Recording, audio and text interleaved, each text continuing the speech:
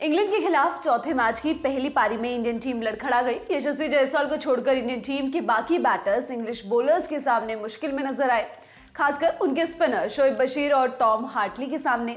जिसके बाद रांची की पिच को लेकर इंग्लैंड के दिग्गज स्टुअर्ट ब्रॉड और माइकल वॉन ने सवाल उठाए हैं। स्टुअर्ट ब्रॉड के मुताबिक इंडिया ने ऐसी पिच तैयार कर इंग्लैंड को हावी होने का मौका दे दिया है। उन्होंने सोशल मीडिया साइट एक्स पर पोस्ट किया। मैं अक्सर इंग्लैंड के बारे में ट्वीट करता हूँ, लेकिन इंडिया की बात कर रहा हूँ, वो भारत में फ्लैट टेस्ट पिचों पर एक अद्भुत टीम है, जहाँ उनके स्पिनर्स की स्किल निखर कर सामने आती है और वो गेंदबाजी में दूसरी टीम से कहीं बेहतर होते हैं। लेकिन कम उछाल वाली पिचों पर खेलने से विरोधी टीम को आप हावी होने का अधिक मौका देते हैं। मैं समझ नहीं पा रहा हूँ कि उन्होंने इस तरह की पिच क्यों तैयार की है। वहीं पूर्व इंग्लिश कैप्टन माइकल वॉन ने सोशल मीडिया साइट एक्स पर ही पोस्ट किया। भारत ने इस तरह की पिच तैयार करके इंग्लैंड को पूरी तरह से खेल में ला दिया है। इसके लिए मैं उनका काफ़ी शुक्रगुजार हूँ।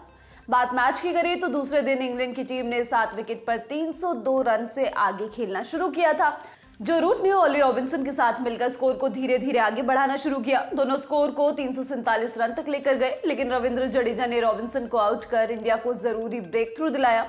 रॉबिन्सन अट्ठावन रन बनाकर आउट हो गए। इसके बाद शोएब बशीर और जेम्स एंडरसन ज़्यादा देर क्रीज पर नहीं टिक सके। और दोनों प्लेयर्स बिना खाता खोले आउट हो गए। इस तरह इंग्लैंड की पहली पारी तीन सौ तिरपन रन पर समझ गई, जो रूट 122 रन बनाकर नॉट आउट रहे। जडेजा ने चार, जबकि आकाशदीप ने तीन विकेट लिए। जवाब में इंडियन टीम की शुरुआत भी खराब रही। चार के स्कोर पर रोहित शर्मा के तौर पर टीम को पहला झटका लगा। वो दो रन बनाकर आउट हुए। इसके बाद शुभमन गिल और यशस्वी के बीच बयासी रन की पार्टनरशिप हुई। गिल 38 रन बनाकर आउट हुए, जबकि यशस्वी ने तिहत्तर रन की पारी खेली। सरफराज चौदह रजत पाटीदार सत्रह और जडेजा बारह रन बनाकर आउट हुए। दिन का खेल खत्म होने तक इंडियन टीम का स्कोर सात विकेट खोकर दो रन रहा।